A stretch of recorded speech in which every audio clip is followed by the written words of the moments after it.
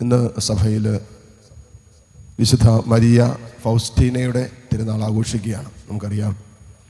ദൈവകരുണയുടെ പ്രവാചിക എന്ന് അറിയപ്പെട്ടവളാണ് Maria Faustina ഈ കാലഘട്ടങ്ങളിൽ ഒത്തിരി അധികമായി നമ്മൾ ധ്യാനിക്കുന്ന ഒരു വിശുദ്ധയാണ് വിശുദ്ധ മരിയ ഫൗസ്റ്റീന അതിന് കാരണം ഈ അവസാന കാലഘട്ടത്തിൽ ഒത്തിരിയേറെ ദൈവത്തിന്റെ വെളിപ്പെടുത്തലുകൾ ദൈവ കരുണയെക്കുറിച്ചുള്ള ദൈവത്തിന്റെ വെളിപ്പെടുത്തലുകൾ ലഭിക്കുകയും അതിങ്ങനെ എഴുതി വയ്ക്കുകയും അവസാനം അതൊരു ഡയറിയായി നമ്മുടെ കൈകളിൽ ഇപ്പോൾ ഉണ്ടത് ആത്മാവിൽ നൽകപ്പെട്ട ആത്മാവിലേക്ക് ഒഴുകിയിറങ്ങിയ ഒരു അന്തരാത്മാവിലേക്ക് ഒഴുകിയിറങ്ങിയ ദൈവത്തിന്റെ കരുണ എന്ന് പറയുന്ന വലിയൊരു ഡയറി. അത് മരിയ ഫൗസ്റ്റിനയുടെ ഡയറിയാണ്. ഈ വിശുദ്ധയുടെ ജീവിതത്തിലൂടെ എല്ലാം കടന്നു പോകുമ്പോൾ നമുക്ക് മനസ്സിലാക്കാൻ പറ്റും. വളരെ സാധാരണ ഒരു പെൺകുട്ടി മൂന്നാം ക്ലാസ് വരെ അങ്ങനെ പഠിക്കാൻ പോയുള്ളൂ. വീട്ടുവേല ചെയ്ത് പല കുടുംബങ്ങളിലൊക്കെ വീട്ടുവേല ചെയ്ത് ജോലി ചെയ്ത് പണിയെടുത്ത് ജീവിതം നയിച്ചുകൊണ്ടിരുന്ന ഒരു സാധാരണ പെൺകുട്ടി. പക്ഷേ ദൈവത്തിന്റെ സ്നേഹത്തിന് തന്നെ തന്നെ സമർപ്പിക്കുകയും നിരന്തരമായ പരിശുദ്ധ അമ്മയോടുള്ള സ്നേഹവും വിശുദ്ധ കുർബാനയോടും കുംഭസാരത്തോടുമുള്ള ആഴമായ അഭിനിവേശവും അവളുടെ ആത്മാവിൽ ദൈവസ്വരം കേൾക്കാൻ ഇടവരുത്തി എന്നുള്ളതാണ്.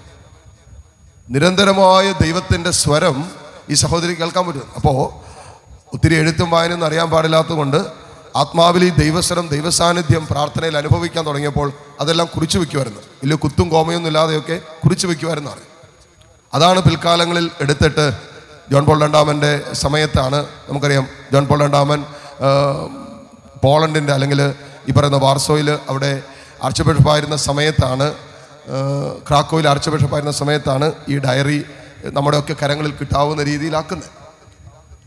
ഇപ്പൊ ദൈവത്തിന്റെ അനന്തമായ കരുണയെക്കുറിച്ചാണ്. ഒരിക്കലും പറ്റാത്ത ദൈവത്തിന്റെ കരുണയെക്കുറിച്ചാണ് വിശുദ്ധ ഫൗസ്റ്റീനയിലൂടെ ദൈവം തന്നെ തന്നെ വെളിപ്പെടുത്തിയത്. നമുക്കറിയാം നമ്മുടെയൊക്കെ കുടുംബങ്ങളിൽ എല്ലാ കുടുംബങ്ങളിലും ഇന്ന് എല്ലാ ക്രിസ്തീയ കുടുംബങ്ങളിലും ഈ ദൈവകരുണയുടെ ഒരു ഛായാചിത്രം കാണും.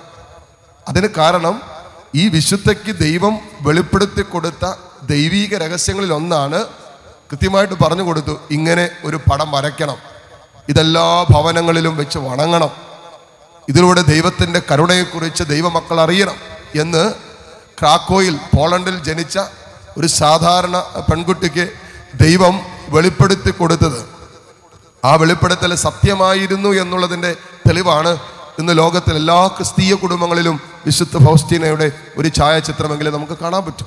അപ്പോൾ ദൈവം തന്നെ സ്നേഹിക്കുന്ന ഒരു അന്തരാത്മാവിലേക്ക് വെളിപ്പെടുത്തുന്ന ദൈവത്തിന്റെ കരുണയെക്കുറിച്ചും സ്നേഹത്തെക്കുറിച്ചും ആഴമായി അറിയുകയും അനുഭവിക്കുകയും മനസ്സിലാക്കുകയും ചെയ്തവളാണ് വിശുദ്ധ ഫൗസ്റ്റീന.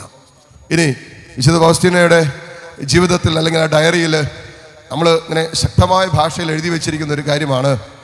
ദൈവത്തിന്റെ കരുണയ്ക്ക് ഏറ്റവും അർഹതയുള്ളതെന്ന് പറയുന്നത് ഈ ലോകത്തിലെ ഏറ്റവും വലിയ പാപിക്കാണ് ആണ് എന്നാണ് എഴുതി വെച്ചിരിക്കുന്നത്.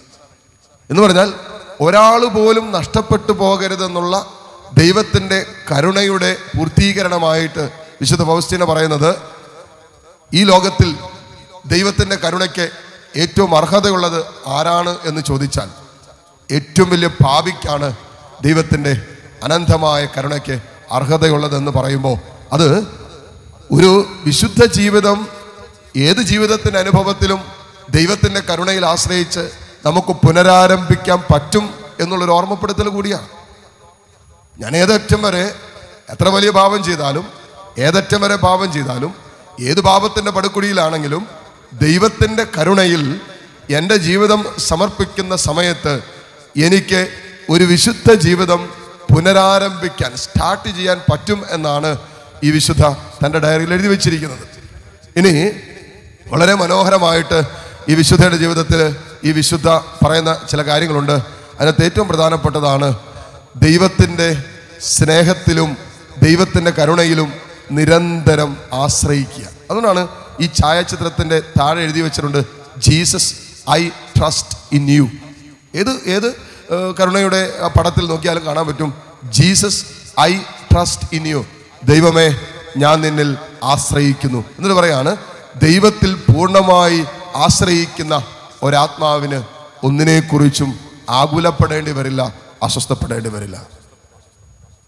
ദൈവത്തിന്റെ കരുണയിലും ദൈവത്തിലും പൂർണമായും ആശ്രയിക്കുന്ന ഒരാത്മാവിന് ഒന്നിനെക്കുറിച്ചും അസ്വസ്ഥപ്പെടുകയോ ഭാരപ്പെടുകയോ ചെയ്യേണ്ടി വരില്ല എന്ന് വിശുദ്ധ ഫൗസ്റ്റ്. അതുകൊണ്ടാണ് എല്ലാ ഛായാചിത്രങ്ങളും അത് കൃത്യമായിട്ട് രേഖപ്പെടുത്തിയിട്ടുണ്ട്. Jesus I trust in you. ദൈവമേ ഞാൻ നിന്നിൽ ആശ്രയിക്കുന്നു. പൂർണമായിട്ടും ഞാൻ നിന്നിൽ ആശ്രയിക്കുന്നു. അല്ലേ? നമ്മൾ നിരന്തരം ഈ ഒരു കാര്യം തന്നെ നമ്മുടെ ഉള്ളുകൊണ്ട് പറയുവാണെങ്കിൽ തീർച്ചയായിട്ടും നമുക്ക് ആ ഒരു ദൈവാശ്രയത്വ ബോധത്തിലേക്ക് നമുക്ക് വളരാൻ പറ്റും. ദൈവം ഞാൻ നിന്നിൽ ആശ്രയിക്കുന്നു. ഒരു വേദന വരുമ്പോൾ ദൈവമേ ഞാൻ നിന്നിൽ ആശ്രയിക്കുന്നു. ഒരു സങ്കടം വരുമ്പോൾ ദൈവം നിന്നിൽ ആശ്രയിക്കുന്നു. ഒരു രോഗം വരുമ്പോൾ ദൈവമേ ഞാൻ നിന്നിൽ ആശ്രയിക്കുന്നു. ഒരു പരാജയം വരുമ്പോൾ ദൈവമേ ഞാൻ നിന്നിൽ ആശ്രയിക്കുന്നു. ഒരു ജീവിതത്തിന്റെ തകർച്ച വരുമ്പോൾ ദൈവമേ ഞാൻ നിന്നിൽ ആശ്രയിക്കുന്നു എന്ന് ഒരാത്മാവ് പറയുന്നിടത്ത് ദൈവസ്നേഹത്തിന്റെയും ദൈവപരിപാലനയുടെയും ദൈവസാന്നിധ്യത്തിന്റെയും അനുഭവം ആത്മാവിൽ ലഭിക്കുമെന്നാണ് വിശുദ്ധ ഫൗസ്റ്റീന പറഞ്ഞത്. വിശുദ്ധ ഫൗസ്റ്റീനയുടെ തിരുനാൾ നമ്മൾ ആഘോഷിക്കുമ്പോൾ ദൈവത്തിന്റെ കരുണയെക്കുറിച്ച് ആഴമായ അറിവ് നമുക്കുണ്ടാകണം. ദൈവത്തിന്റെ കാരുണ്യത്തിന് വീണ്ടെടുക്കപ്പെടാനാകാത്ത വിധം നമ്മളാരും നഷ്ടപ്പെട്ടു പോയിട്ടില്ല. ജീവിതത്തിന്റെ ഏതെല്ലാം മേഖലകളിലാകട്ടെ ജീവിതത്തിൽ ഏതെല്ലാം മേഖലകളിൽ തിരുത്തലുകൾ ആവശ്യമുണ്ടോ അതെല്ലാം ദൈവത്തിന്റെ കരുണയിലും ദൈവത്തിന്റെ സ്നേഹത്തിലും സാധ്യമാണ് എന്നാണ് ഈ വിശുദ്ധയിലൂടെ ദൈവം നമുക്ക് വെളിപ്പെടുത്തി തരുന്നത്. അത്രമാത്രം വെളിപ്പെടുത്തലുകൾ ഒരു ആത്മാവിന് ലഭിക്കുക ലഭിക്കാന്ന് പറഞ്ഞാൽ നിങ്ങൾ സമയം കിട്ടുമ്പോൾ ആ വിശുദ്ധ ഫൗസ്റ്റീനയുടെ ഡയറി മേടിച്ച് വായിക്കണം. ഒരു ഡയറി കുറിപ്പ് ഇത്രയും വലിയുണ്ട്. പത്ത് എഴുന്നൂറ് പേജെങ്കിലും കാണുമായിരിക്കും.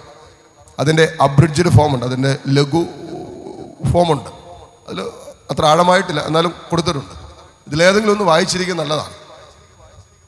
അല്ലെങ്കിൽ ചുമ്മാ എങ്കിലും ഇടയ്ക്കെങ്കിലുമൊക്കെ തുറന്ന് ഈ ഡയറിയിൽ എല്ലാം വായിക്കാൻ പറ്റിയില്ലെങ്കിലും പലയിടങ്ങളിലൊക്കെ ഒന്നെടുത്ത് വായിക്കുന്നതാണ്. എത്രമാത്രം ഒരാത്മാവിൽ ദൈവത്തിന്റെ സ്വരം കേൾക്കാൻ പറ്റും. എത്രമാത്രം ഒരു ആത്മാവിന്റെ ഉള്ളറകളിലേക്ക് ദൈവം തന്നെ തന്നെ വെളിപ്പെടുത്തി കൊടുക്കുന്നു എന്നതിന്റെ വലിയ തെളിവാണ് ഈ ഡയറി പോലും. അതുകൊണ്ട് ഈ വിശുദ്ധ ഫൗസ്റ്റീനയുടെ തിരുനാൾ ആഘോഷിക്കുമ്പോൾ തീർച്ചയായിട്ടും ദൈവത്തിന്റെ കരുണയിൽ പൂർണമായി ആശ്രയിക്കാം. ദൈവത്തിൽ ആശ്രയിക്കാം. അതിനേക്കാൾ ഉപരി ദൈവത്തിന്റെ സ്വരം എന്റെ ആത്മാവിലും ശ്രവിക്കാൻ എന്നെ തന്നെ രൂപപ്പെടുത്തി ജീവിക്കാൻ ആത്മാവ് നമ്മളെ സഹായിക്കട്ടെ. ഉള്ള കൃപയ്ക്കായി നമുക്ക് പ്രാർത്ഥിക്കാം. ആമീൻ.